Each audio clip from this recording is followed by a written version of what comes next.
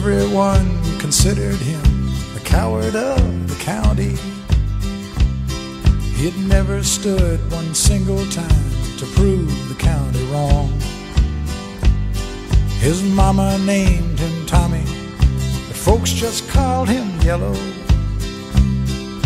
Something always told me they were reading Tommy wrong.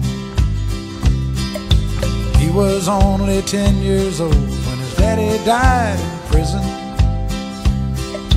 I looked after Tommy cause he was my brother's son. I still recall the final words my brother said to Tommy. Son, my life is over, but yours has just begun. Promise me, son,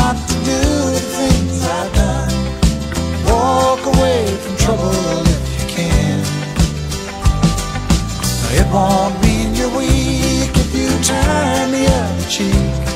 I hope you're old enough to understand. Son, you don't have to fight to be a man. There's someone for everyone, and Tommy's love was Becky. In her arms, he didn't have to prove he was a man. One day while he was working, the Gatlin boys came calling. They took turns at Becky, and there was three of them. Tommy opened up the door and saw his Becky crying.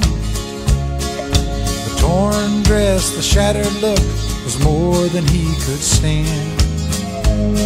He reached above the fireplace and took down his daddy's picture. As his tears fell on his daddy's face, he heard these words again. Promise me, son, not to do the things I've done. Walk away from trouble if you can.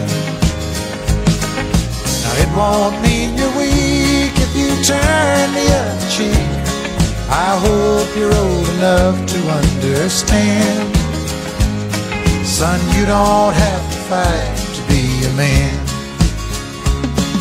The Gatlin boys just laughed at him when he walked into the bar room.